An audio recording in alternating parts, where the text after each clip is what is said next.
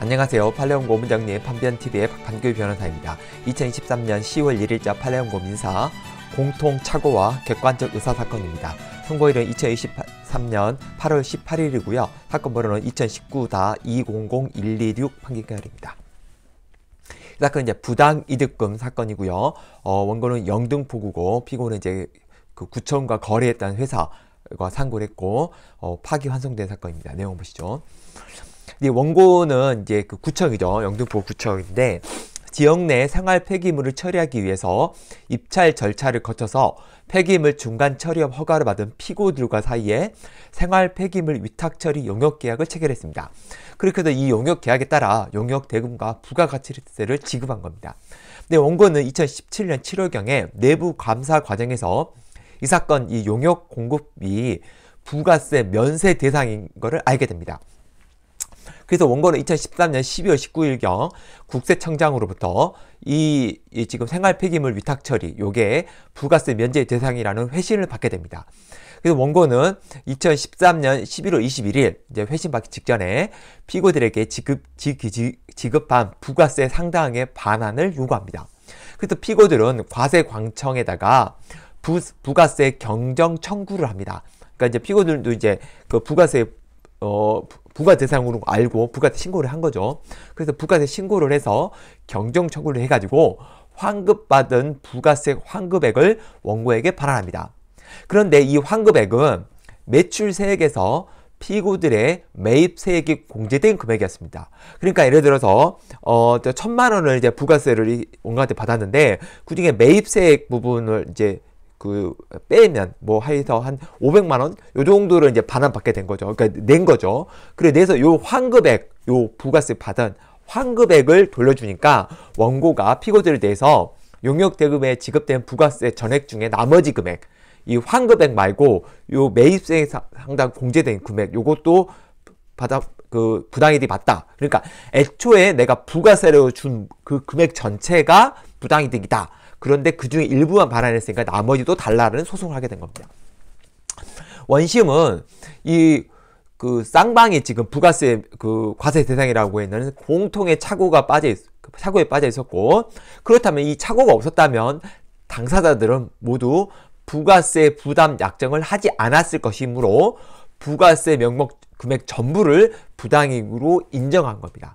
그래서 당사자의 진정한 의사를 부가세는 어 애초 지급하지 않는 게 애초의 계약이었을 것이다 라고 해서 전액 해서 환급액 플러스 그 납입세 관련 있는 공제 대금에 그 금액도 다 반환하라 라고 이제 했더니 한 거죠. 대법원은 이제 뭐라고 하냐면 이 부가세를 공급 받는 자로부터 징수하는 것이 사업, 사업자로 하여금 공급받은 자로부터 부가세를 직접 징수할 사법상의 권리를 부여하는 게 아니다. 그러니까 이제 부가세는 기본적으로 어 이제 이렇게 물건을 사는 쪽에서 부담을 하게 되는데 그 부담을 하는 거를 이제 사업자가 받아서 그걸 납부를 하게 되는 거죠. 근데 이때 이 사업자가 받은 이 부가세라는 것은 이 애초에 이 사람이 납부할 부가세를 대신 징수하는 게 아니라는 겁니다. 그거는 그냥 부가세 부담을 누가 할 것인가에 대한 사법적 약정에 불과하지 그 부, 일단 받게 되면 그 부담에 대해서 납세하는 거는 이제 사업자가 하는 거죠.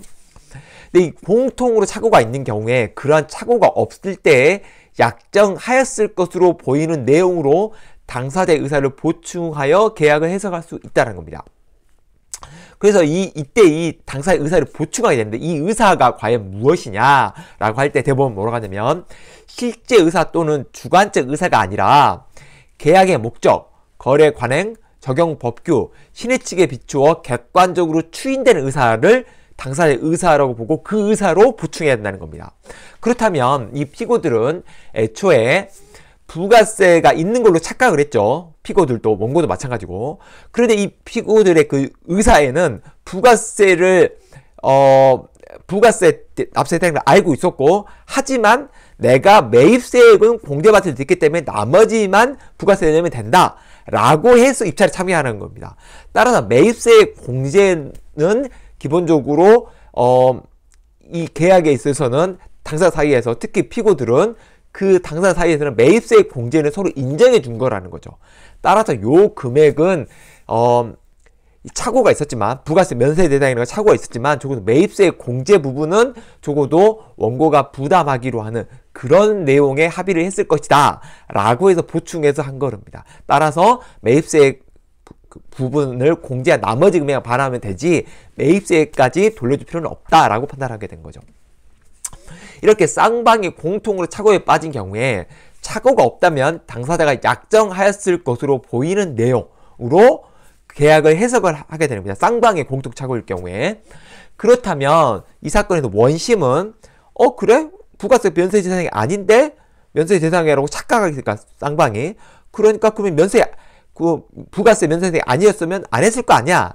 라고 해서 그냥 어 원고 청구 인용을 했는데 대법원은 그게 아니라 그 의사라는 것은 거래 관행이나 목적 적용 법주의 이럴 때는 객관적 추인의 의사이기 때문에 적어도 이 당사자 사이에서는 이런 생각을 했다는 거죠.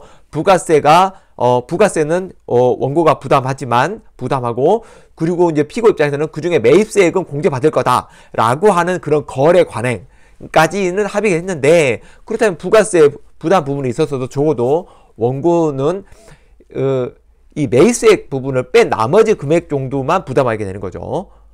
그것만 그러니까 그 정도는 어 피고가 납부할 의사를 있고 받아서 그 정도 납부할 생각을 가지고 적어도 공제는 받을 수 있겠구나 하고 하기 때문에 그에 대해서는 쌍방이 적어도 가정적으로는 인정해 줬을 거다라고 해서 그 납입세액, 납입세액 부분의 공제한 나머지 환급액만 돌려주는 게 맞다라고 본 겁니다. 그러니까 이거는 이 사건은 이제 쌍방이 공통으로 착오가 발생한 경우에 가장적 의사를 어떻게 볼 것인가를 에 관해서는 참고할 만한 판례이기 때문에 기억하시는 게 좋을 것 같습니다. 이상 마치겠습니다. 감사합니다.